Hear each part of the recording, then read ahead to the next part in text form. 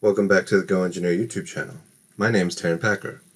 In today's video, I'd like to tell you how to create a local coordinate system that is oriented in a different direction from the global coordinate system in Simulia Abaqus on the 3D Experience platform. Please note, not all users will be able to utilize the Model Prep app, which is essential to this method of setting up a coordinate system on the 3D Experience platform. Only those with the Structural Mechanics Engineer or Structural Performance Engineer roles will have access to the Model Prep app. Let's say we want to set up a force load on the top face of this bolt at a 45 degree angle from the ZX plane. This is not an option when the axis system is defined as global. We have two options to specify this direction. We can use the local or specify option. With the specify option, you change the local coordinate system directly. With the local option, you create a new coordinate system manually, then select it. We will be using the local option in this video. To do this, we need to create a new local coordinate system manually first. When setting up a simulation on the 3D Experience platform, some of the commands need the imported model to be changed.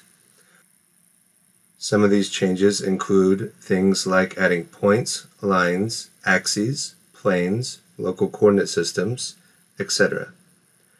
These changes can all be done in the Model Prep app. To access this app in the action bar, click on the Standard tab, select the drop-down arrow next to the Model option, and select the Model Prep button. Before you can enter the Model Prep app, you need to tell the program which of the available bodies you would like to make changes to. Here we are going to keep the Select a Shape option activated and select the 3D shape on the top of the tree which will include all the bodies in the assembly as objects that can be changed in the Model Prep app.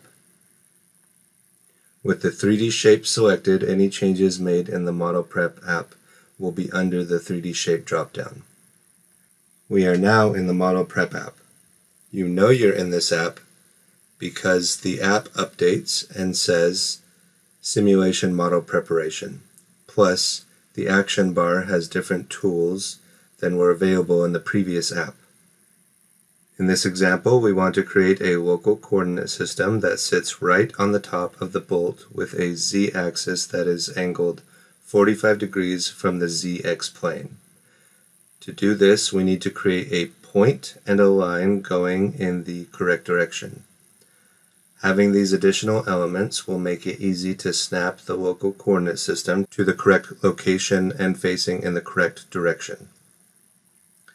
Select the Point button which will bring up the Point Creation dialog box. There are several options available to create points, but we're going to use the Circle, Sphere, Ellipse, Center option. This will put a point right in the center of any of the geometries named in the command. In our case, we just need to select the edge of the bolt to create a point right at its center. To create the line at 45 degrees, we need to create two lines. The first line will be parallel to the ZX plane. To create this line, choose the Line Creation button. Like the Point Creation command, there are several options available to create lines. We are going to choose the Point Direction method. In the Point field, choose the point that was just created, and for the Direction field, choose the YZ plane. The length of the line would matter if we were putting the coordinate system at the far end of the newly created line, but we're going to put it at the start of the line so the length does not matter. To create the line that will be at the 45 degrees, we will again select the line creation button. This time we'll choose the angle normal to curve method. In the curve field, select the previously created line. In the Point field, select the point at the center of the bolt head. In the Support field, choose the surface that the line will be on. In this case, we'll choose the bolt head surface. Make sure the angle is set to 45 degrees. and to reverse the direction, just put a negative sign in front of the 45 degrees. After clicking OK, you have a point and a 45 degree line to position and orient a local coordinate system with.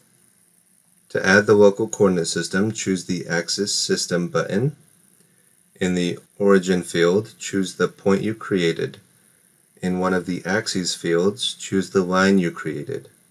Because we want the z-axis to be at the 45 degree angle, we are going to click on the z-axis field and click on the second created line.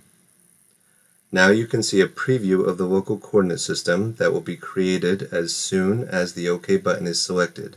If you also want to orient the X and Y axes, then you need to put lines in either or both of these fields as well. Once finished, hit the OK button and a local coordinate system in the correct location and orientation will be created. To exit the Simulation Model Prep app, select the Exit App button in the Idealize tab.